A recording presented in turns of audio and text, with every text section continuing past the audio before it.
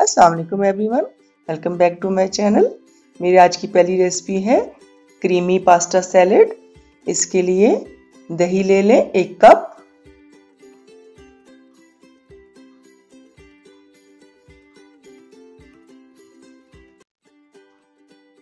Mayonnaise half cup.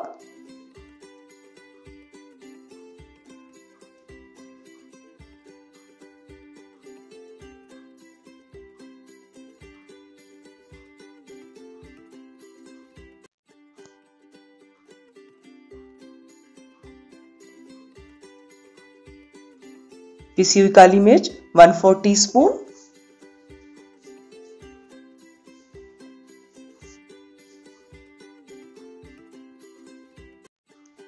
पिसी हुई चीनी, वन टेबल स्पून। सब चीज़ों को अच्छी तरह मिक्स कर लें।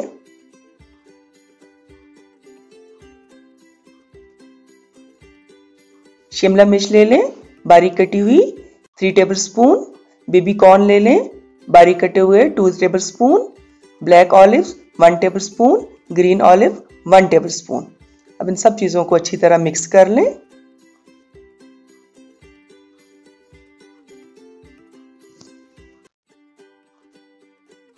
किसी भी शेप का पास्ता ले लें 200 ग्राम्स उसको बॉईल कर लें, फिर इसको इसमें शामिल कर दें। इसको अच्छी तरह मिक्स कर लें। अगर आप चाहें तो आप इसमें बॉयल चिकन भी शामिल कर सकते हैं।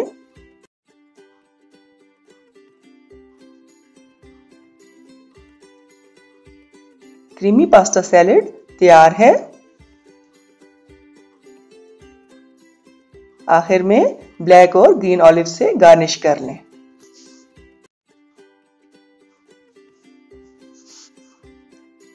मेरी दूसरी रेसिपी है creamy fruits and nuts salad इसके लिए बारीक चॉप किया हुआ सेब ले लें, एक cup tetra pack cream 300 hundred पिसी हुई चीनी वन टेबल स्पून बादाम को बॉईल करके उसका छिलका उतार लें टू टेबल स्पून पिस्ता थ्री टेबल स्पून काजू टू टेबल स्पून अखरोट टू टेबल स्पून किशमिश two tablespoon mayonnaise one cup बारीक कटे पाइन एप्पल वन कप काली मिर्च का पाउडर एक चुटकी।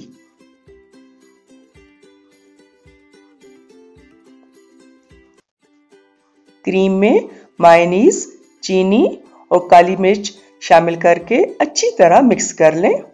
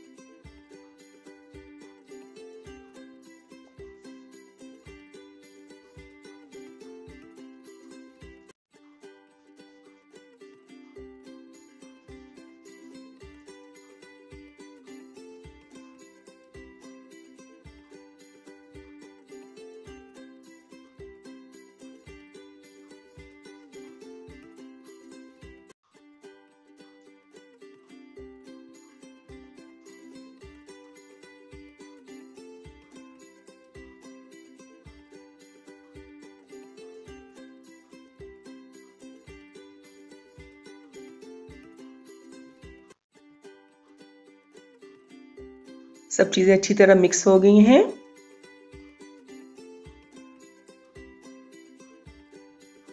अब इसमें फ्रूट्स और सारे नट्स शामिल करके अच्छी तरह मिक्स कर लें।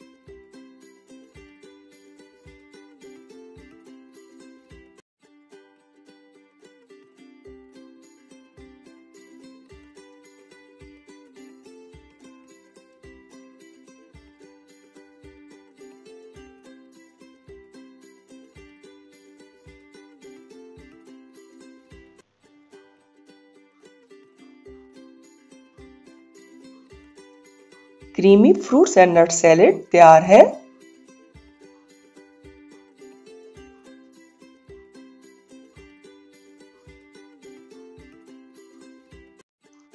इसको पाइनएप्पल के स्लाइसेस से गार्निश कर लें।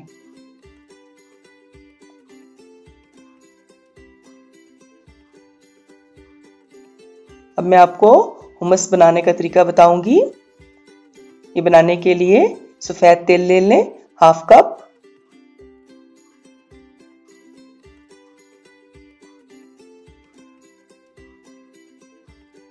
अब इनको आहिस्ता आँच पर इतनी देर तक टोस्ट करें कि इनमें से खुशबू आने लगे और इनका कलर थोड़ा सा चेंज हो जाए। ये तेल अच्छी तरह भून लिए हैं। अब इन तेलों को एक ब्लेंडर में डालें।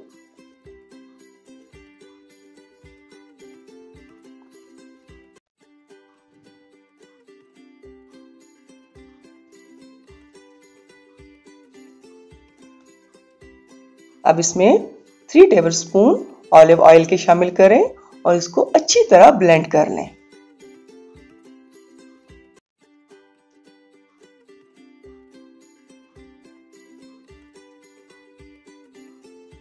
ताहिनी पेस्ट तैयार है।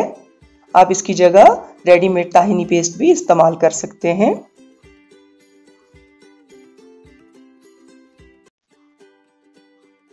अब इसमें उबले हुए सफ़ेद चने शामिल करें। ढाई कप। नींबू का रस two tablespoon olive oil three tablespoon बारीक कटा लहसुन वन टीस्पून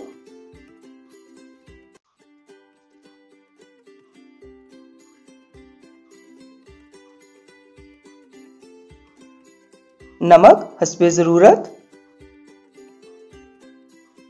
अब इसमें हसबे ज़रूरत पानी शामिल करें इसको अच्छी तरह ब्लेंड कर लें, जब तक इसका क्रीमी पेस्ट बन जाए। मैंने इसको ब्लेंडर के जग में से इसमें चॉपर में शिफ्ट कर लिया था इसमें अच्छा सा इसका पेस्ट बना लिया है।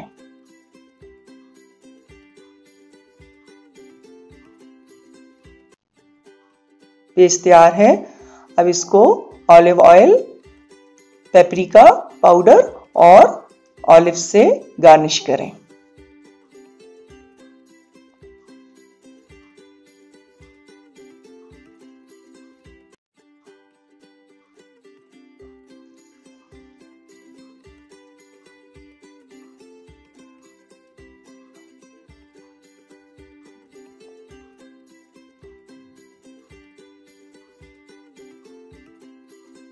हुमस तैयार है। अब इसको आप होममेड पीटा ब्रेड के साथ सर्व करें। इसकी रेसिपी का लिंक डिस्क्रिप्शन में है, आप वहाँ से देख सकते हैं। उम्मीद करती हूँ मेरी आज की रेसिपीज़ आपको बहुत पसंद आई होगी। मेरी वीडियो को लाइक और शेयर करें और मेरे चैनल को सब्सक्राइब करें। थैंक यू अल्लाह हाफिज़।